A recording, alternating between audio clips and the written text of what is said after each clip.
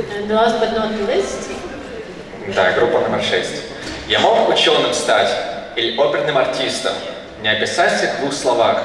Но что за честь быть образованным лингвистом и разбираться в языках? Знать, чем характерен каждый звук, фонема, его историческая суть. И для лингвиста вовсе не проблема публично грамотную речь толкнуть. Детально знать родной язык есть достояние. Еще достойней знать и другие языки. И потому нельзя оставить без внимания, что все лингвисты Молодцы!